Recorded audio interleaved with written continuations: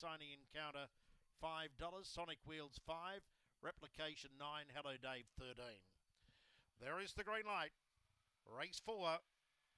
Set Racing, Harris Pearl missed it near last away. Fast into stride replication. Around them comes Sonic Wheels, and Sonic Wheels goes to the lead, making ground Harris Pearl to third, then Amendola. Tiny Encounter and Hello Dave, 989 up the Cooksley Street side. The leader Sonic Wheels by a length and a half over replication to the outside. Tiny Encounter followed by Harris Pearl going to the inside, three off them. Then came Amendola and Hello Dave down the side. Sonic Wheels still bobbing by a length. Harrispool Pearl is coming through on the inside. Harris Pearl got the run, took the lead. Harris Pearl comes away, wins by four. Sonic Wheels, third Amendola replication, then Tiny Encounter.